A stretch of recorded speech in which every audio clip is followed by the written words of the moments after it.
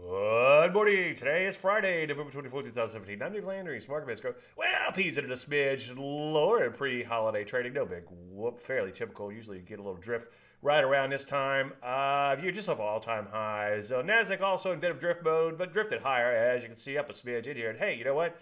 That's enough to put it or keep it at all-time highs. Big blue arrow remains intact there too. Rusty tried to rally a bit, but came back in kind of Flatsville to kind of Softsville, I guess, in here, but just off of all time highs. All in great in the world, though. Some areas like drugs still look dubious at best, but most areas looking pretty good. In fact, some of these areas that have been uh, kind of questionable as of late, such as transports, have come back nicely in here. And as you would imagine, anything technology related also doing fairly well in here, as you can see, just at or near new highs and remaining in longer term trends. Retail also banging out new highs in here. So what do we do? Well, today's notorious for being thin and choppy. So unless you really like a setup, eh, just skip trading for today.